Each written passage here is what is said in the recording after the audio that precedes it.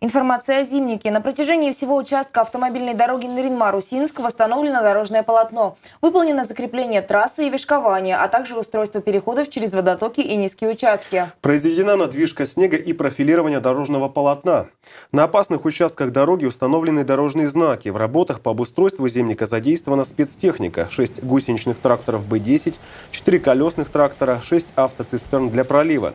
Движение по зимнику сейчас закрыто, так как не произведена заливка. На 15-м километре автодороги дежурит пост ДПС.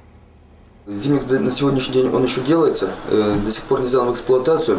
Э, техника по большому счету пошла уже, но в связи с тем, что зимник не доделан, а эта техника, которая идет, она ее разбивает. Обращение к населению, просьба такая, что пока зимник не открыт, не установилась автомобильная дорога, не установлены технические средства организации дорожного движения, направление Усинска не выезжать, потому что э, это небезопасно.